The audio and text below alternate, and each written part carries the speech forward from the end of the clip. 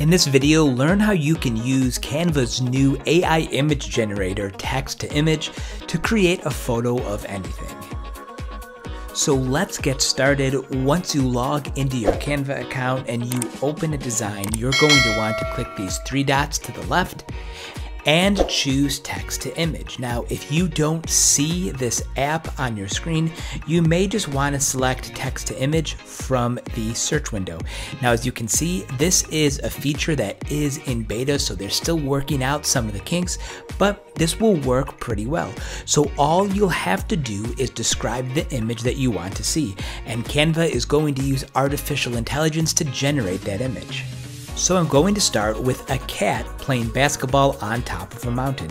Now if I scroll at the bottom, I have a few different options for my style. I can choose a photograph, a drawing, a 3D image, a painting, a pattern, or concept art.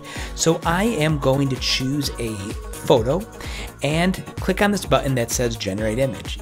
In just a few moments, Canva is going to take that description and create an image from it.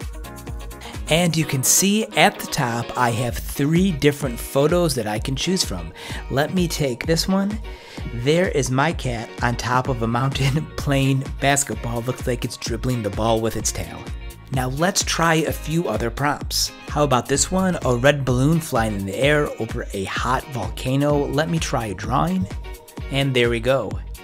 Okay, this is a crazy one. A photo of an extremely cute alien fish swimming in an alien habitat underwater. Let me just try surprise me and let's see what Canva will come up with. Looks like it gave me two different versions. You can see them both on your screen right now. Let's try one more. I'm going to choose a dog eating pizza while sitting on a bicycle and I'm going to choose the option that says 3D. So there's our dog eating the pizza in 3D, although he's not sitting on a bicycle. So as you can see, this isn't 100% perfect, but it's definitely something cool to play around with. So this is called text to image. It's a feature that's in Canva on beta by clicking the three dots to the left. So thank you so much for watching this video. If you have any questions, go ahead and leave them below.